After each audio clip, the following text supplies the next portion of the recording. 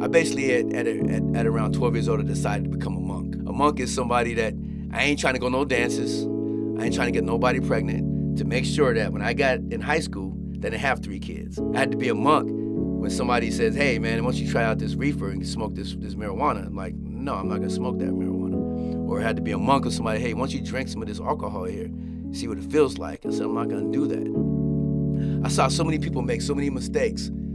That's all the learning I needed. I learned from negative learning. I didn't learn from some some grown man or some grown woman come up to me and say, "Don't do this or do that, do that."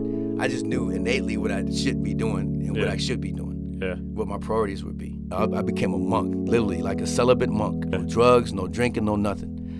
By the time I got to 11th grade, I had all these different schools that were knocking on my door, trying to get me into their school, and it wasn't for sports, which is crazy.